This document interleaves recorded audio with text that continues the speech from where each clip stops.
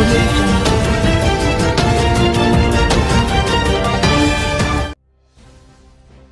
मुख्यमंत्री एकनाथ शिंदे यांच्या उपस्थितीत कराड येथे भरगच्च कार्यक्रमाचे आयोजन करण्यात आले आहे. स्वर्गीय यशवंतराव चव्हाण यांची आज अडतीसावी पुण्यतिथी असल्याने मुख्यमंत्री एकनाथ शिंदे यांनी सर्वप्रथम स्वर्गीय यशवंतराव चव्हाण यांच्या समाधीस्थळी जाऊन स्मृतीस अभिवादन केले.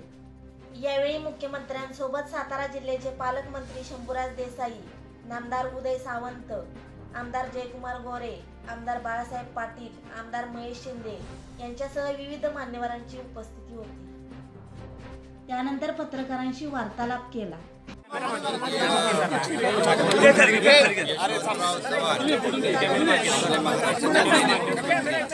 मित्र मोबाईल खाली करणार. अभिवादन केलेलं आहे. यशवंतराव चव्हाण यांनी या महाराष्ट्राचं मंगल कलश आणला. आणि मोबाईल खाली घे ना मित्र. औद्योगिक आणि कृषी कॅमेराच्या आडवं येतो मित्र. विकास साधण्याचा विजय सर. कॅमेरा आणि खऱ्या अर्थाने या महाराष्ट्राचे मित्र पाय साहेबांनी पाय आता खांद्यावर आणि म्हणून त्यांना आज मी स्वतः सहकारी त्यांच्या वतीने अभिवादन करायला आलं त्यांच्या स्मृतीला त्यांचं कार्य जे आहे त्याच्या आठवणीपर्यंत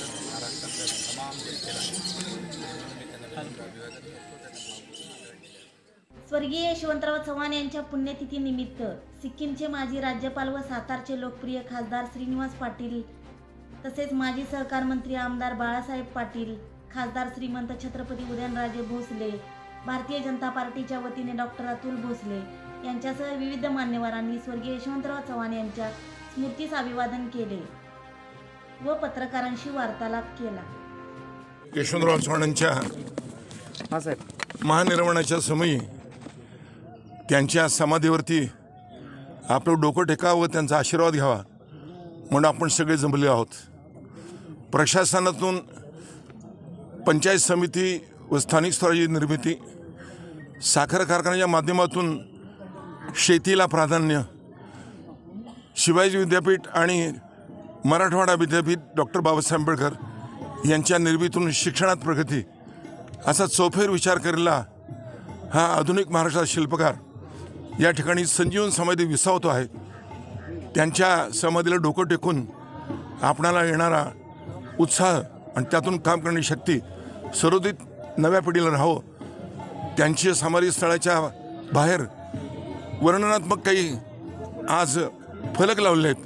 तेही लोकांनी वाचावेत. आणि स्वर्गीय चव्हाणसाहेब कोण होते? इथं कसे वाढले? त्याने या विभागाचं महाराष्ट्राचं वैभव कसं वाढवलं? आणि देशाच्या पातळीवरती आदरणीय पंडित नेहरूंच्या हाकेला साथ देऊन जो नेता इथून गेला त्या नेत्याच्या पुण्यस्मरणाचा हा दिवस आहे. त्यांना मी अभिवादन करतो. आपण सर्वांच्या वतीनं थांबतो. जय हिंद. जय महाराष्ट्र. यशवंतराव चव्हाण साहेबांची पुण्यतिथी आज या ठिकाणी प्रथेप्रमाणे पंचवीस नोव्हेंबरला साजरी करण्यात येते. आणि या कार्यक्रमाच्या निमित्तानं आदरणीय शरदचंद्र पवार साहेब राज्याचे मुख्यमंत्री अजितदा पवार साहेब इतर सर्व मंडळी येतात. आज मुंबईमध्ये पवार साहेबांचा यशवंतराव चव्हाण साहेबांच्या नावानं जो पुरस्कार सोहळा आहे त्यामुळं पवार साहेब काही इथं आज येऊ शकले नाहीत. आम्ही आमच्या प्रथेप्रमाणे साडेआठ वाजता मी खासदार श्रीनिवासराव पाटील आणि जिल्ह्यामधले यशवंतप्रेमी सर्व जनतेच्या वतीने या ठिकाणी चव्हाण साहेबांना अभिवादन केलं आहे हा महाराष्ट्र निर्माण झाल्यानंतर हा पुरोगामी विचारानं पुढे गेला पाहिजे. आणि या राज्याला यांत्रिकरणाच्या माध्यमातून विकासाच्या दिशेने नेलं पाहिजे. या दिशेनं चव्हाण साहेबांचं फार मोठं योगदान आहे. आणि राज्याच्या सगळ्या या प्रक्रियेमध्ये चव्हाण साहेबांचं सातत्यानं नाव घेतलं जातं. कारण त्यांनी जो विचार दिला त्या विचारानं या राज्याचा निश्चितपणे आत्तापर्यंत विकास झाला आहे आणि इथून पुढं सुद्धा विकासाची प्रक्रिया सुरू आहे. मी या ठिकाणी सातारा जिल्ह्याच्या वतीनं ईश्वरराव चव्हाण साहेबांना अभिवादन करतो. अभिवादन केलं. हा? नेहमीच दरवर्षीप्रमाणे चव्हाण साहेबांना इथं अभिवादन करायला येत असतो. तसे इतर मान्यवर वेगवेगळ्या पक्षाचे येतात. त्याप्रमाणे मी येतो. कराडमधील आपणाला मानणारा एक गट आज एकनाथ शिंदे गटात प्रवेश करतोय. नाही मला काय कल्पना महाराज राऊत अशी म्हणा लागले म्हणाले आहेत की सीमा प्रश्नाचा प्रश्न आता पुन्हा एकदा उकरून काढलेला आहे. त्याच्या पाठीमागं राजकारण असं आहे की राज्यपालांनी जे विधान केलेलं आहे शिवाजी महाराजांच्या संदर्भात त्याला कुठेतरी एक लक्षात. एक तुम्ही लक्षात घेतलं पाहिजे. कोण काय बोललं याच्याशी मला मी फारसं काय त्याला म्हणजे महत्त्व देत नाही. हे का घडलं? मुळाच्या मुळात आपण गेलो जाणं गरजेचं आहे. ज्यावेळी जी महाजन कमिटी नेमण्यात आली होती त्यांनी केलेल्या ह्या चुका आहेत.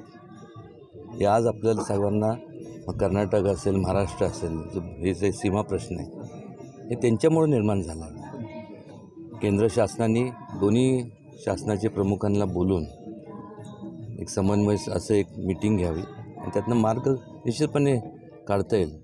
त्यावेळेस असं ठरलं होतं की भाषावार म्हणजे जे जिथं हे तसं ते हे विभाजन म्हणजे त्या त्या राज्यात ते ते गावं गेले पाहिजे. तसं घडलेलं काय दिसत नाही. त्यामुळं दि वेळ जरी म्हणजे उशीर जरी झाला असेल तर दुरुस्त आपल्याला करता येतं. सातत्यानं राज्यपालांनी जी भूमिका अ, मांडलेली होती त्याच्यानंतर आपण थेट पहिल्यांदा बोलला होता. आता राज्यपालांना केंद्राने देखील बोलवून घेतलं आहे. नाही, बघा, त्या- मुख्यमंत्र्यांनी सुद्धा मी का- नाराजी व्यक्त केलेली आहे. तो विषयच असा आहे. आणि त्या विषयावरती मी जे काय बोलायचं काल बोललो आहे अठ्ठावीस तारखेला आम्ही बोलणार आहे. सविस्तर त्या आत्ता मी त्या विषयी काय बोलणार नाही.